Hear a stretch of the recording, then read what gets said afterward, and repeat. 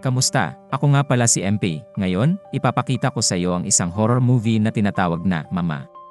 Sa simula ng pelikula, tumakbo si Jeff sa kanyang bahay pagkatapos marinig sa radyo na ang kanyang asawa at ang ilan sa kanyang mga katrabaho ay nabaril. Sumakay si Jeff sa kotse kasama ang kanyang mga anak na babae, sina Victoria at Lillian at nagmaneho palayo habang tinatanong ni Victoria kung saan sila pupunta. Mabilis na nagmamaneho si Jeff sa madulas na kalsada na lubhang mapanganib. Sinabi sa kanya ni Victoria na napakabilis niya at habang sinasabi niya sa kanya na tumahimik, nawalan siya ng kontrol at nahulog sila. Dumating sa bahay ang identical twin brother ni Jeff, na si Lucas, ngunit pinigilan siya ng pulis na pumasok. Hinahanap niya ang kanyang kapatid, at sinabihan siya ng pulis na maghintay sa labas. Nakaligtas si Jeff at ang kanyang anak na babae sa aksidente, kaya dinala niya sila sa isang kabin sa kakahuyan. May nakita si Victoria sa loob at tumanggi siyang pumasok, ngunit pinilit siya ni Jeff na pumasok. Nabasag ang salamin ni Victoria sa panahon ng aksidente, ngunit hindi ito pinansin ni Jeff. Nagpasya siyang patayin ang kanyang mga anak na babae, at pagkatapos ay ang kanyang sarili. Nang malapit na niyang barilin si Victoria, isang kakaibang halimaw ang lumabas sa kawalan at pinatay siya. Habang nakaupo sina Victoria at Lily sa tabi ng apoy, binigyan sila ng halimaw ng cherry. Pagkalipas ng limang taon, nakipag-usap si Lucas sa isang lalaki na tumutulong sa kanya na mahanap sina Victoria at Lily. Sinabi ng lalaki kay Lucas na hindi niya nakuha ang kanyang huling bayad at sinabi sa kanya ni Lucas na makukuha niya. Kinausap ni Lucas ang kanyang kasintahan na si Annabelle at pinasaya niya ito dahil naubusan na siya ng pera. Ang mga lalaki ay nakahanap ng kotse sa kakahuyan at binibigyan ang kanilang aso ng laruan na amoy galing sa kotse upang masundan nito ang bango. Dinala sila nito sa cabin at pumasok sila. Nakahanap ang mga lalaki ng mga guhit sa dingding at habang naglalakad sila sa paligid, sina Victoria at Lily ay kumikilos ng ligaw, gumapang sila sa likuran nila at tinatakot sila. Sinabi ng mga lalaki kay Lucas na ang mga bata ay natagpo ang buhay at sinabi ni Lucas sa kanyang kasintahan. Pumunta sina Lucas at Annabelle sa welfare clinic na tinutuluyan ng mga bata at nakilala si Dr. Gerald. Pinaalam niya sa kanila na pinanatili ni Victoria ang ilan sa kanyang bukabularyo at maaari siyang makipag-usap habang si Lily ay hindi makapagsalita. Binigyan ni Gerald si Lucas ng isang peres ng salamin para kay Victoria at pagkatapos ay pumasok siya sa silid. Nagagalit si Victoria sa una, ngunit nang sinusuot niya ang salamin ay gumaan ang pakiramdam niya. Dahil magkamukha sila ni Lucas, tinawag niya itong tatay at niyakap. Sina Gerald, Lucas, at Annabelle ay nasa korte, kasama ang kanilang dakilang tiyahin na si Jean upang subukang makuha ang kustodiya ng mga babae. Ipinaalam ni Gerald sa hukom na ang mga babae ay lumikha ng isang imaginary na nanay na tinatawag nilang mama. Sinabi rin niya sa hukom na gagaling ang mga bata kung magkakaroon sila ng sapat na pagmamahal at pangangalaga. Sinabi sa kanila ni Jean na hindi kayang alagaan ni Lucas ang mga bata sa hinaharap. Pumunta sina Lucas at Annabelle sa opisina ni Gerald para kausapin ito. Sinabi niya sa kanila na maaari nilang makuha ang kustodiya ng mga bata kung hahayaan nilang bantayan niya sila. Sumang-ayon sina Lucas at Annabelle at kumuha sila ng bagong bahay para sa kanila at sa mga bata. Nakipagkita si Gerald kay Victoria at ikinuwento niya sa kanya ang tungkol sa isang babae na tumakas kasama ang kanyang anak at tumalon mula sa isang bangin patungo sa isang ilog. Tinanong siya ni Gerald kung paano niya nalaman ang kwento at sinabi niya sa kanya na sinabi sa kanya ni Mama ang kwento sa kanyang mga panaginip. Mamaya, dinala ni Gerald sina Victoria at Lily sa kanilang bagong bahay, kung saan nakikipaglaro si Victoria sa isang aso at si Lily ay nagtatago sa isang karton na kahon. Ang pamilya ay kumakain ng hapunan sa dining room habang si Lily ay kumakain sa sahig. Kinabukasan, hinanap ni Gerald ang kwentong sinabi sa kanya ni Victoria at binigyan siya ng kanyang assistant ng logbook mula sa isang pabrika na nagsara noong 1878. Natuon ang kanyang atensyon sa isang pasyenteng nagngangalang Edith na may katulad na kwento. Si Lily at Victoria ay gumuhit sa dingding at si Lily ay nagsimulang makipaglaro kay Mama habang inaakit ni Victoria ang atensyon ni Annabelle. Tinanggal ni Victoria ang kanyang salamin bago pumasok sa kanyang silid at isinara ang pinto. Nang gabing iyon, kumikislap ang mga ilaw habang tumutugtog si Annabelle ng kanyang gitara. Nagulat siya nang tumakbo si Lily na sumisigaw. Nag-uusap sina Annabelle at Lucas sa kanilang silid nang mapansin nilang may kakaibang figura na nakatingin sa kanila. Habang pinagmamasdan ni Annabelle ang mga bata, nagpasya si Lucas na tingnan sa ibaba. Napansin niya ang isang gamugamo sa dingding na nagkakalat dito ng mga kakaibang substance. Tiningnan ito ni Lucas at itinulak siya ng misteryosong figura pababa ng hagdan.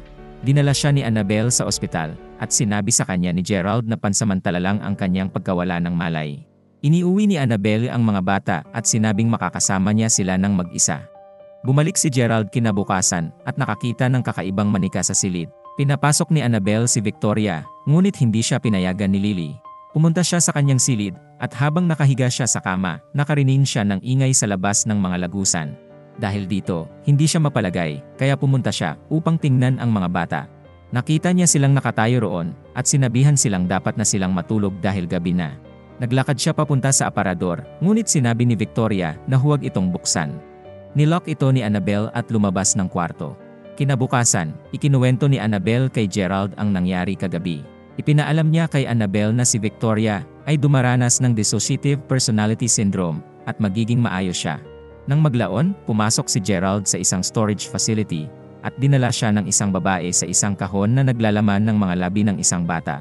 Samantala, habang nasa koma, nanaginip si Lucas kung saan nakita niya ang kanyang kapatid na si Jeff, na humiling sa kanya na iligtas ang kanyang mga anak na babae at bumalik sa cabin.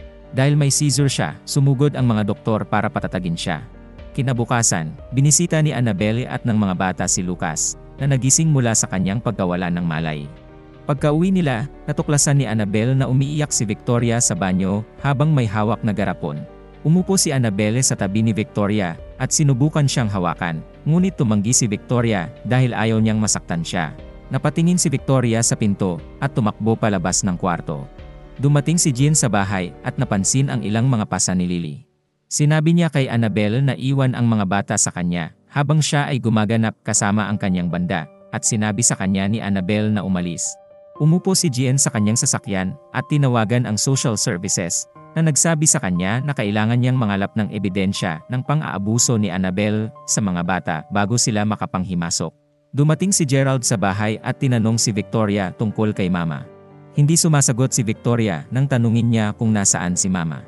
Napasigaw si Victoria nang ipakita sa kanya ang isang larawan at tinanong kung ang babae sa larawan ay si Mama. Napansin ni Gerald ang isang kakaibang figura na lumabas sa dingding matapos makarinig ng kakaibang tunog mula sa kanyang likuran. Nagmamadali siyang lumabas ng bahay, inayos ang kanyang bag at sinabihan si Annabel na tatawagan niya siya mamaya. Sumakay siya sa kanyang sasakyan at napansin ang kakaibang figura na nakatayo sa bahay habang tinitingnan niya si Annabel. Binasa ni Gerald ang kanyang mga dokumento sa pananaliksik at napagtanto na natagpuan niya ang koneksyon sa pagitan ni Mama ng mga bata. Upang makahanap ng mga sagot, nagmamaneho siya sa kakahuyan. Natulog si Annabelle sa kabin ng gabing iyon, at ang kakaibang figura na kanyang mama ay bumungad sa kanya, na ipinakita sa kanya ang isang pangitain kung kailan niya pinatay ang isang madre na kasama ng kanyang anak. Hinawakan niya ang bata at tumakbo sa isang bangin, tumalon sa tubig habang hinahabol siya ng ilang lalaki.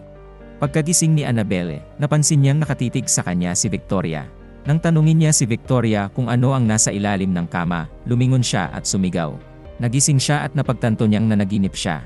Nagising si Lily at inanyayahan si Victoria na makipaglaro kay mama, ngunit tumanggi si Victoria. Lumabas ng bahay si Lily at sinundan ang boses ni mama. Samantala, pumasok si Gerald sa cabin at napansin ang mansa sa dingding. Nag-flash ang kanyang ilaw nang makarinig siya ng mga kakaibang ingay at sinabi kay mama na kilala niya kung sino siya. Huminto sa pagana ang kanyang flashlight, kaya ginagamit niya ang flash ng kanyang kamera. Habang ito ay kumikislap, lumilitaw si Mama, inatake siya, at pinatay. Nagising si Annabel kinabukasan, at hinanap si Lily. Nakita niyang nakahiga siya, at ibinalik siya sa loob. Sinubukan ni Lily na labanan si Annabel, ngunit hinawakan siya ni Annabel at pinakalma siya. Nilock ni Annabelle ang mga bintana gamit ang mga pako, at sinabihan ang mga bata na gamitin ang hagdan kung gusto nilang bumaba. Habang papasok si Annabel sa kanilang silid ay naghahanda naman ng almusal ang mga bata. Napansin niya ang isang kakaibang figura at ipinapalagay na ito ay si Lily, ngunit hindi nagtagal na pagtanto na si Lily ay nasa ibaba. Tumingin siya sa closet ngunit wala siyang makita, kaya bumaba siya. Maya-maya, tinitingnan ni Annabelle ang gawa ni Gerald nang may madatnan siyang drawing ng isang babaeng kamukha ni Mama. Pumunta siya sa kanyang opisina at kinuha ang ilan sa kanyang mga research box. Samantala, hinanap ni Lucas ang isang mapa para sa lokasyon kung saan lumitaw ang kanyang kapatid. Umalis siya ng ospital nang hindi napapansin, nagrenta ng kotse, at pumunta doon. Sinuri ni Annabelle ang mga file ni Gerald at pinanood ang session ni Victoria kay Gerald. napagtanto niya na si Mama ay isang espiritu na naghahanap ng kanyang anak at inampon niya si Victoria at Lily bilang kanyang mga anak. Nagpadala si Annabel ng mensahe kay Lucas habang naglalakad siya sa kakahuyan. Sinubukan niyang tawagan siya, ngunit hindi sinagot ang tawag kaya nagpatuloy siya sa paglalakad. Lumapit si Victoria kay Annabel at niyakap ito. Habang papalabas siya ng kwarto, sinabi niya kay Annabel na mahal niya siya. Pagpasok ni Jean sa bahay, inihanda niya ang kanyang kamera. Bumaba si Victoria matapos mapansin ang mansa sa closet. Nang makita nila ni Lily si Mama, sinimulan niya silang habulin. Inilok ni Lily si Victoria sa labas ng silid, at sinalubong siya ni Annabel. Pagpasok nila sa kwarto, sumulpot si Mama at inatake sila. Sinigawan ni Victoria si Mama at sinabihan siyang iwanan si Annabel, at kinuha ni Mama ang kanyang salamin at binasag ito. Pagpasok ni Jean sa bahay, gumagapang si Mama sa ilalim ng sahig at inaatake siya. Bumaba si Victoria at nakita niyang naglalakad si Mama gamit ang katawan ni Jean. Nagising si Annabel upang hanapin ang mga labi ng anak ni Mama sa isang kahon. Ibinalik ni Mama ang mga babae sa bangin kung saan siya tumalon, habang si Annabel ay nagmamaneho sa lokasyon. Tinawagan niya si Lucas para sabihin sa kanya na nasa kay Mama ang mga babae at papunta na siya para kunin sila. Nakita niya ang isang lalaki sa kalsada habang nagmamaneho at nang huminto siya, napagtanto niya na ang lalaki ay si Lucas. Lumabas siya ng sasakyan at niyakap si Lucas habang kinukwento ang tungkol kay mama. Pagpasok nila sa cabin, napansin nila si Jean na nakatayo sa gitna ng kwarto. Tinapik siya ni Lucas sa balikat at bumagsak ang katawan nito habang nakatingin sa kanya. Nagmamadali silang lumabas at napansin ni Annabel na nasa bangin ang mga babae. Tumakbo sina Annabel at Lucas sa bangin, kung saan naabutan nilang nakaupo sina Victoria at Lily. Tinatawag ni Lucas ang kanilang mga pangalan, at habang lumilingon sila, lumabas si Mama mula sa ilalim ng bangin. Lumulutang siya sa ibabaw ng bangin at iniunat ang kanyang mga kamay, hinihiling sa mga bata na lumapit sa kanya. Nakangiti si Lily habang tumatayo at lumalakad kay Mama, ngunit sumugod si Lucas at pinigilan siya, inaatake siya ni Mama, at ipinakita sa kanya ni Annabel ang labi ng kanyang anak.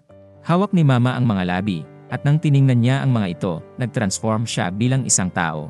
Sinubukan ni na Lucas at Annabel na tumakas kasama ang mga bata, ngunit sinigawan ni Lily si Mama, dahilan upang bumalik ito sa kanyang napakapangit na anyo. Itinapon niya ang labi at inatake si Lucas. Hinawakan ni Mama si Annabel at ibinagsak sa sahig.